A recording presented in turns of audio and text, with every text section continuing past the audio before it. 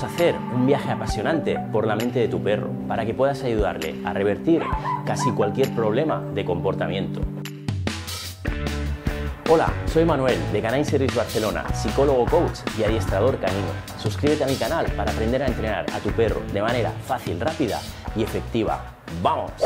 Los problemas de comportamiento y el sufrimiento emocional no solo afectan al perro que los padece, sino que también a la persona a su cargo que intenta ayudarle y no sabe muy bien cómo enfocar la ayuda que le está ofreciendo o que le quiere ofrecer. Antes de decidir si puedes ayudar a tu perro o no, tienes que ver si estás capacitado para hacerlo. A lo largo de este vídeo voy a intentar transmitirte conocimientos para que puedas ayudarle, pero lo primero que tienes que hacer son unas preguntas, te tienes que hacer unas preguntas. Por ejemplo, el problema es un problema que se ha generalizado, es un problema que te lo está dando en muchas situaciones y que está haciendo un problema general al relacionarse. Por ejemplo, ¿Ladra algún perro o ladra a todos los perros? ¿Se quiere pelear solo con un perro a veces o es siempre que se quiere pelear? Eh, ¿Se muestra ansioso ante una situación muy puntual o muy concreta o es un perro que muestra ansiedad en todo momento? Esto te va a dar una pista si realmente el problema es muy complicado o es un problema que a priori será un problema que podremos ayudarle a solucionar de una manera relativamente sencilla. Especialmente para los problemas de agresividad, planteate si tu perro quiere evitar los conflictos y al final acaba reaccionando o acaba peleándose, pero ha habido un previo en el cual quería evitar el conflicto o por el contrario es un perro que realmente le gusta agredir y que le gusta ir mucho hacia adelante. Esto es un cambio muy significativo en cómo enfocar el tratamiento. Por supuesto, si tienes un perro que agrede, pero por evitación, que en principio quisiera evitar la agresión, el pronóstico va a ser mucho más fácil a priori para que puedas ayudarle a solucionarlo. Y otra variable importante es cuán resistente se muestra al cambio. Hay perros que son muy duros y son muy poco dúctiles, otros son mucho más dúctiles y están muy predispuestos a colaborar. Dependiendo de las respuestas a estas preguntas, una vez hayas visto el vídeo podrás decidir si puedes ayudarle o precisas de la ayuda de un profesional para que te dé apoyo en algunos momentos del tratamiento. Y para determinar si tu perro necesita ayuda, por un lado, tienes que determinar o tienes que ver si existen patrones persistentes en el comportamiento que le está provocando malestar emocional. También si existen formas distorsionadas de percibir o de interpretar la realidad. Este tipo de perros sufren un problema en el eje perceptivo ejecutivo y lo que les pasa es que perciben amenazas donde no las hay, ven fantasmas. Estos son los típicos perros que ven a un perro de lejos y empiezan a ladrar porque perciben una amenaza donde realmente no la hay. Ellos anticipan una respuesta, ven a un perro, tienen miedo, se asustan y empiezan a ladrar. ¿Vale? Realmente el perro que hay delante posiblemente no tiene ninguna ganas de hacer nada. Otro criterio a tener en cuenta serían las respuestas emocionales totalmente desproporcionadas ante la situación. Por ejemplo, un perro que se queda solo y sufre una ansiedad increíble, empieza a ladrar, a romper cosas, a miccionar, a defecar, un perro que está ante otro perro y de repente empieza a asustarse, empieza a ladrar, empieza, ves que entra en pánico, que sufre lo que se llama un secuestro límbico. Y especialmente será importante que consideres si estos comportamientos problemáticos son estables en el tiempo o simplemente se trata de un hecho puntual.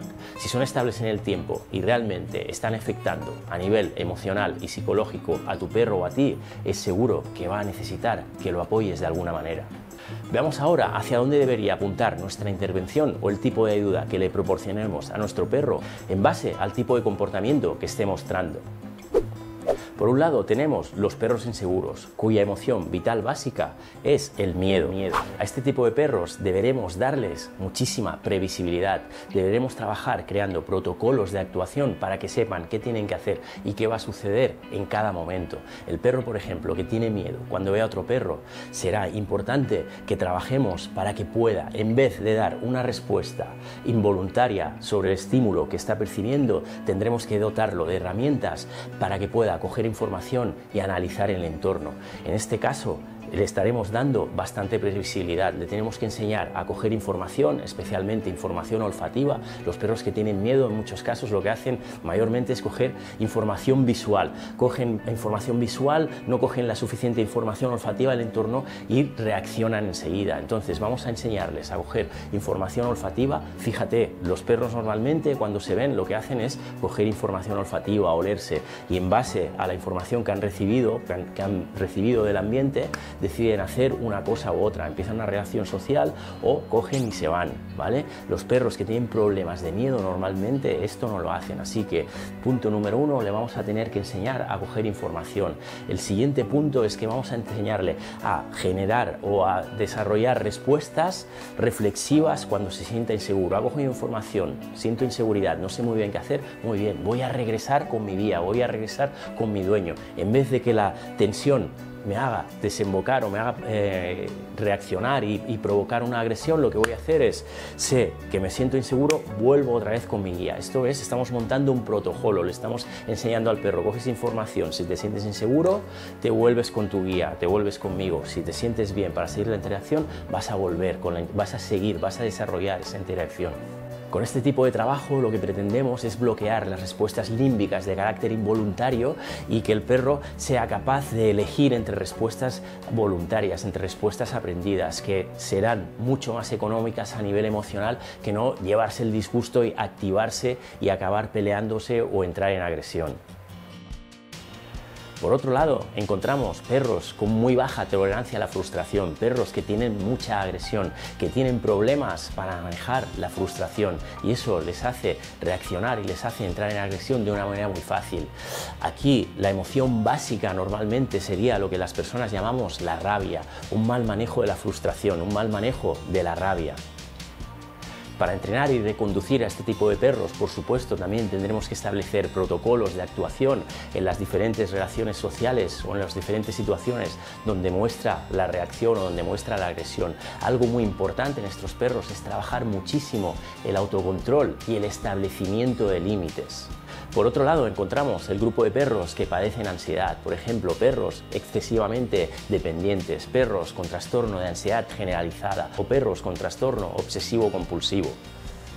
Para empezar con estos perros va a ser casi obligatorio pasar por un sistema o por un programa de reducción de estrés y exponerlo muy gradualmente a aquellas situaciones que le provocan ansiedad, pero de tal manera que las pueda ir afrontando. El perro tiene que confiar en nosotros y tiene que saber que nunca lo vamos a exponer a una situación demasiado intensa que no puede gestionar. Aquí lo que es realmente importante es no centrarse en el síntoma. Si el perro, por ejemplo, eh, muestra ladridos excesivos o rompe cosas cuando se queda solo, desde luego no tenemos que centrarnos en el síntoma. Nuestro target, nuestro objetivo en la intervención no ha de ser que no rompa cosas o que no ladre, sino hemos de bajar al problema, a la raíz del problema y hemos de empezar a trabajar desde la raíz, porque si lo que hacemos es dejar la raíz, lo que está provocando ese problema, Ah, lo dejamos tal como está y lo que nos centramos es en el síntoma, en no rompas muebles, por ejemplo, eh, o el, típico perro que ladra, muy bien, ladra y le ponemos un collar antiladridos,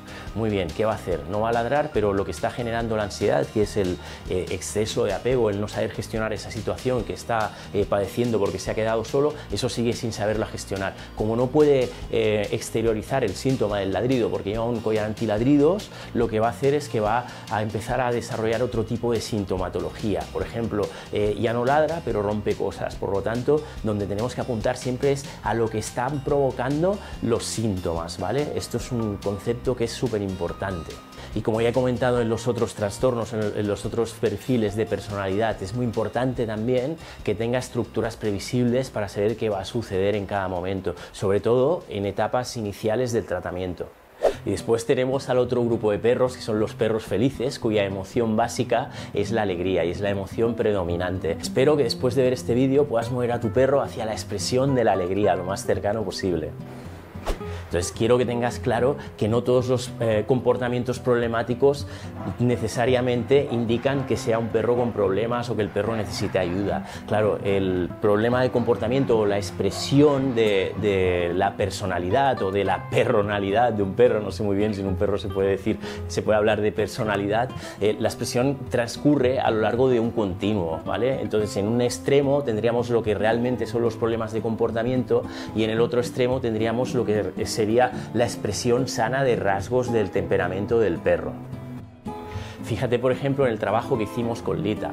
Lita era una perra, o es una perra que al principio de su tratamiento, de canine coaching, de su entrenamiento, mostraba una alteración en el eje perceptivo. Cuando veía un perro, sentía miedo y lo veía un perro lejos y daba una respuesta totalmente eh, desproporcionada, empezaba a ladrar, a ladrar, tenía realmente un nivel de reacción muy elevado.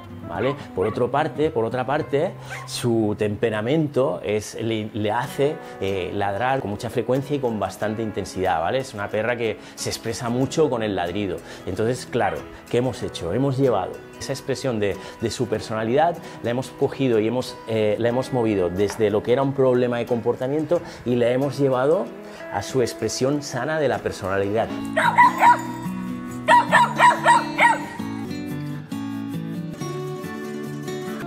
Entonces, para entenderlo bien, necesito que entiendas qué es el carácter que es el temperamento y que es la personalidad o como hemos dicho antes, la personalidad. El temperamento es la expresión de cómo se va a comportar el perro que viene determinada de manera genética, ¿vale? Y esto es inamovible. Sí que podemos, eh, como os he dicho antes, eh, moverlo de un polo a otro, podemos tener un problema de comportamiento determinado por el temperamento del perro y lo podemos mover hacia eh, la expresión más sana posible dentro de este rasgo temperamental. Pero el rasgo temperamental en sí no lo vamos a poder eh, nunca hacer desaparecer. Por ejemplo, un perro o una persona tímida, por mucho trabajo eh, que tenga y por mucho crecimiento personal, siempre va a ser tímido. Lo que pasa es que la timidez se va a expresar pues, en, diferentes partes de, ese continuo de, de expresión que hemos dicho. Entonces, el carácter es el resultado de los aprendizajes y de las vivencias de esa persona o de ese perro, ¿vale? Entonces, tenemos por un lado temperamento y por otro lado tenemos carácter. La suma del temperamento y del carácter nos da igual a la personalidad